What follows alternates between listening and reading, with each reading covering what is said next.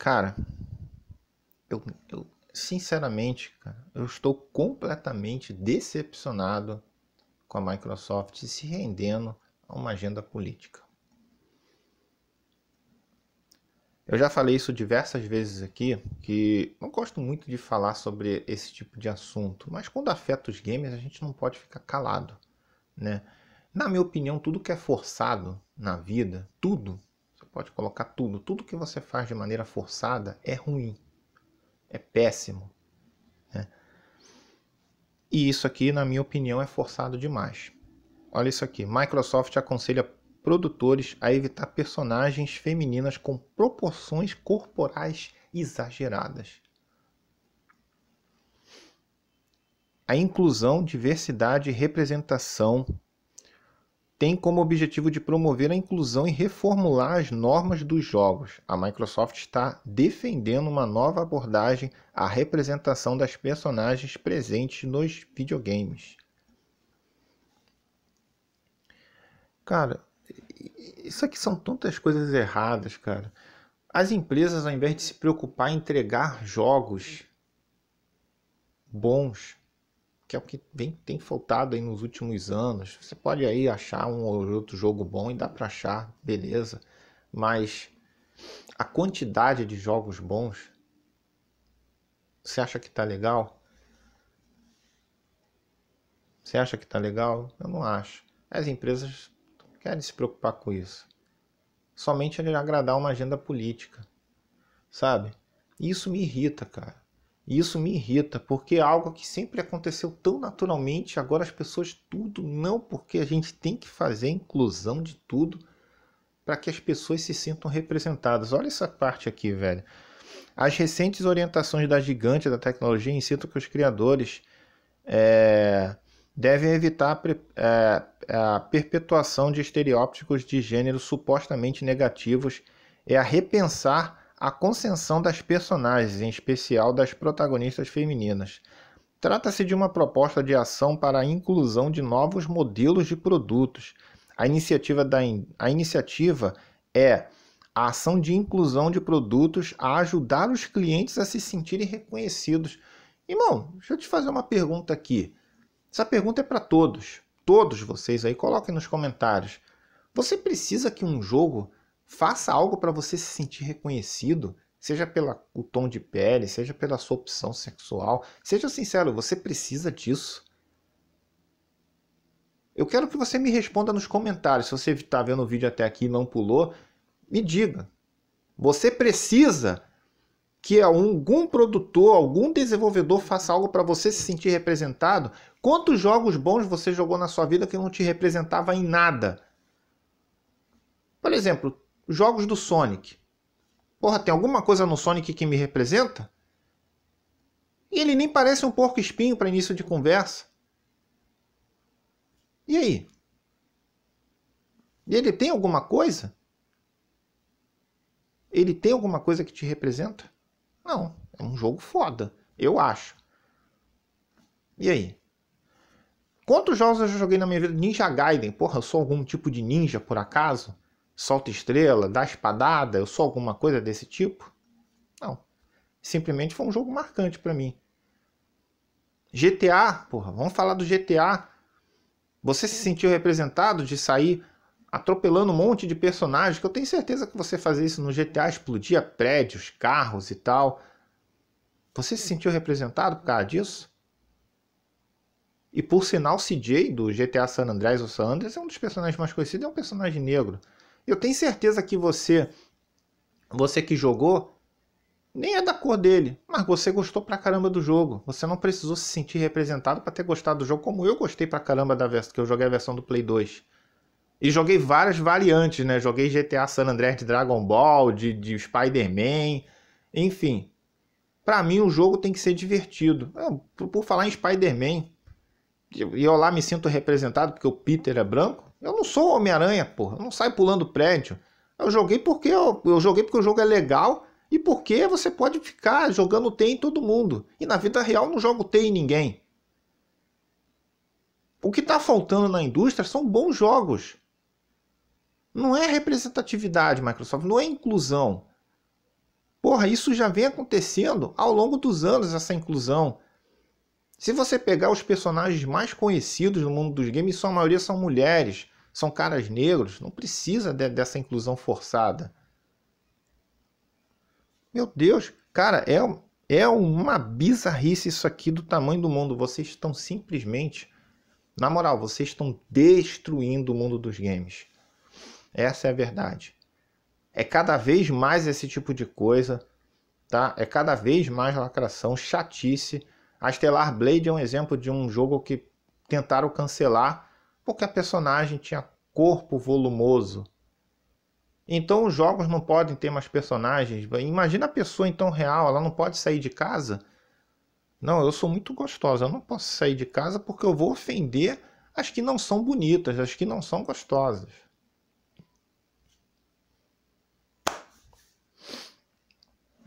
Cara, ai, ajudar os clientes a se sentirem representados.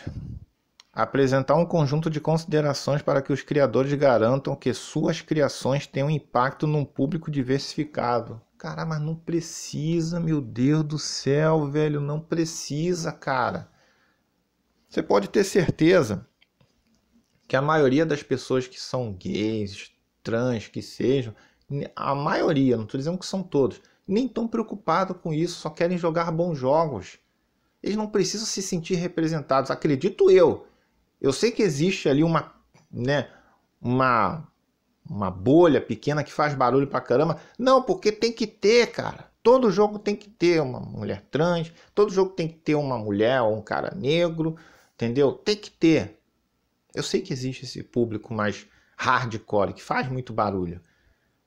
Você não tem que escutar esse público, você tem que escutar quem joga, quem gosta de videogame. Entendeu? Vocês estão destruindo a indústria dos games. Se, entendeu? Porque vocês estão preocupados com esse tipo de coisa e vocês não estão entregando bons jogos. Microsoft, você é um grande exemplo. Você devia calar sua boca de parar com essas agendas políticas patéticas e entregar jogos melhores. Porque tirando aí o Forza e o, e o Guias, e talvez o Hi-Fi Rush e o Starfield, o Hi-Fi Rush até passa. O Starfield fica aí naquela, né? Divisão. Muitos acham uma bosta, muitos acham bom tirando esses que eu citei, nos últimos anos você só, só entregou lixo. Você só entregou lixo.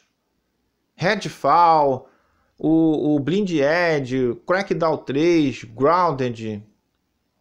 Hoje pode ser até legal o Sea of Thieves, mas foi entregue como um lixo. Também levou anos e anos para ser algo mais interessante.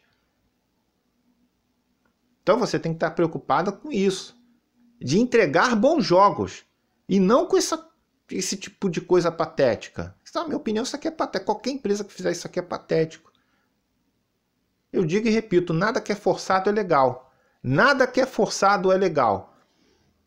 Se você joga algo contra a sua vontade, é ruim. Se você come algo, alguma comida que tu não gostou contra a sua vontade, é ruim. Se você vai passear contra a sua vontade, é ruim. Você acha que você vai entregar bons jogos forçando esse tipo de coisa?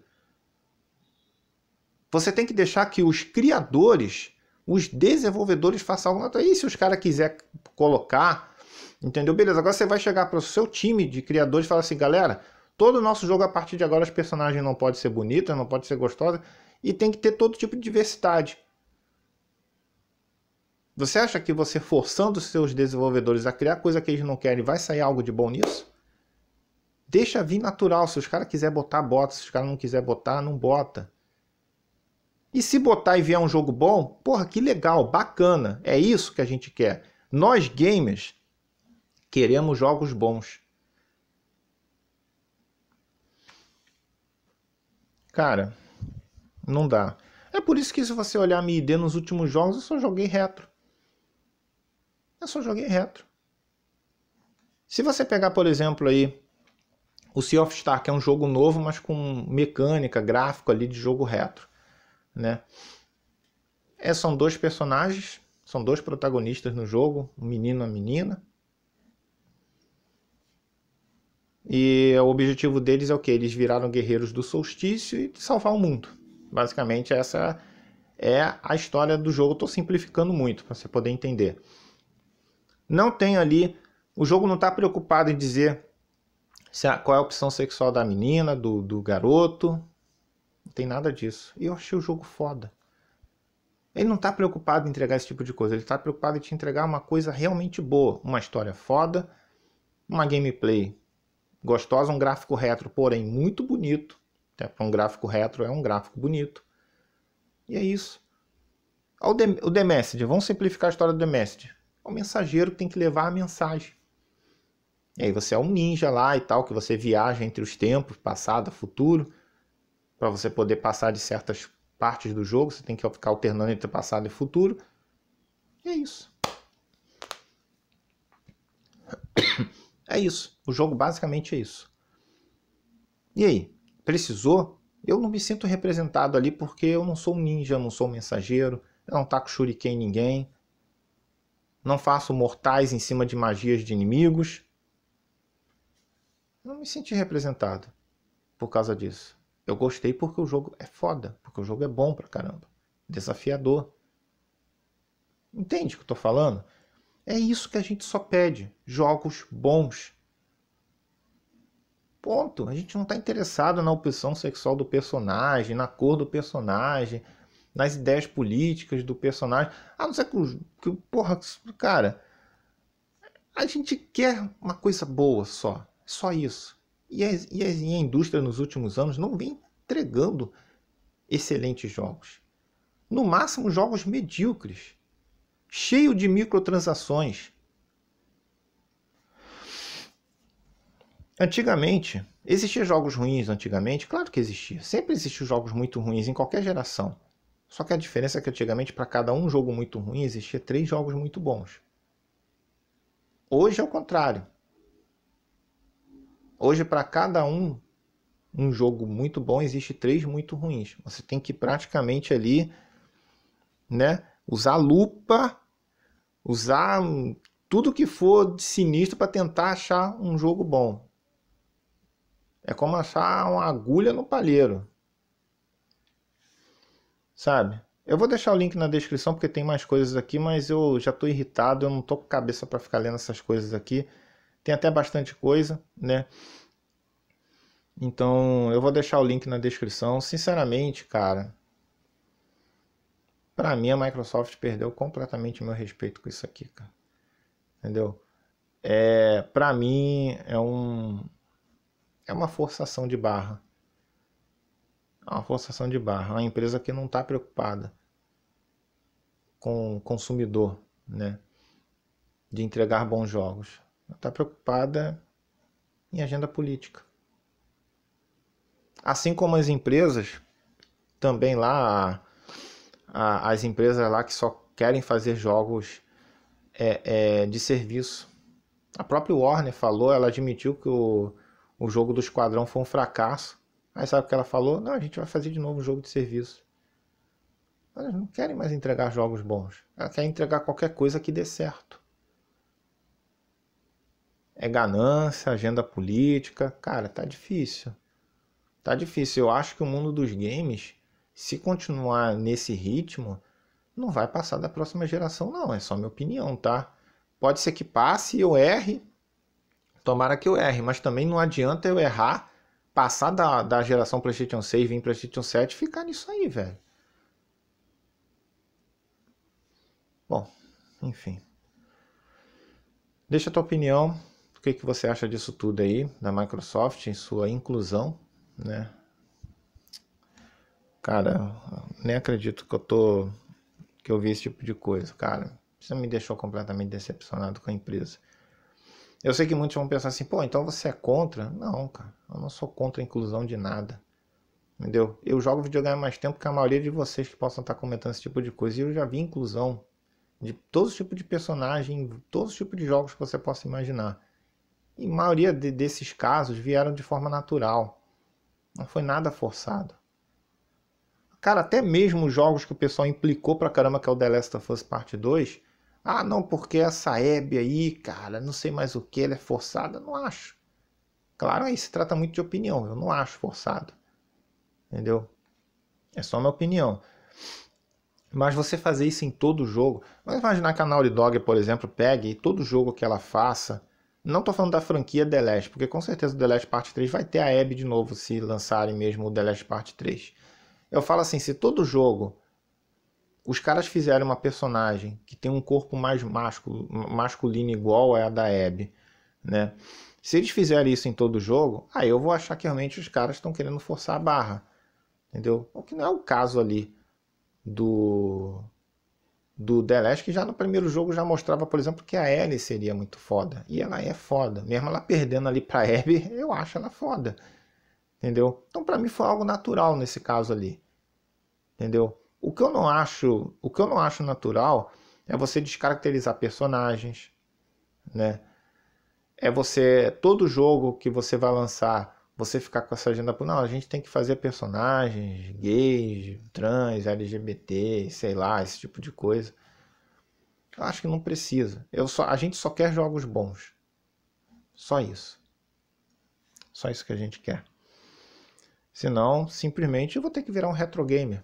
Que jogar só jogos retros. Que não estava preocupado com esse tipo de coisa na época. Criava ali personagens, se a personagem mulher fosse foda, foi beleza. Foi assim com a Lara Croft fizeram o Tomb Raider e virou um jogo lendário, dos mais conhecidos, com uma personagem feminina, Perez. Entendeu? Não precisou ser forçado. Jill, pica das galáxias, Claire também, porra. A, principalmente no Code Verônica, meus amigos, a Claire é um tanque de guerra no Code Verônica. Ela tanca muita mordida de zumbi no Code Verônica. É bizarro como ela é forte. Beleza. Ela pode ter se preparado todos esses anos para ser forte musculando, para poder aguentar ali as pancadas dos bichos. Não só as mordidas, os tapas também, que dão lá umas, umas porradas lá, uns bichos lá que estica o braço e te dá um porradão. Então, esse tipo de coisa que a gente quer. A gente quer algo que aconteça naturalmente. E não forçado. Parecendo que em todo jogo que você criar, Microsoft, você vai ter que fazer esse tipo de coisa para agradar um público minúsculo que se sente mal com isso. Enfim, chateado já, cara. Vou deixar o link na descrição, deixa o like, deixa a sua opinião aí e não esquece de falar se você se você precisa ser representado no mundo dos games. Quantos jogos você já jogou que você foi representado? Quantos jogos? Eu pode ser que um ou outro ali personagem se pareça comigo. Mas e aí? E aí? É complicado. O jogo que eu mais gosto, a franquia que eu mais gosto é Sonic. O Sonic não se parece nada comigo. O ouriço, o ouriço azul, nem se parece comigo. Eu gosto do Sonic. E aí? Deixa o like, compartilhe se puder, vira membro do canal para estar tá dando aquela força extra aí. Eu vou ficando por aqui. Forte abraço, fica com Deus. É nóis.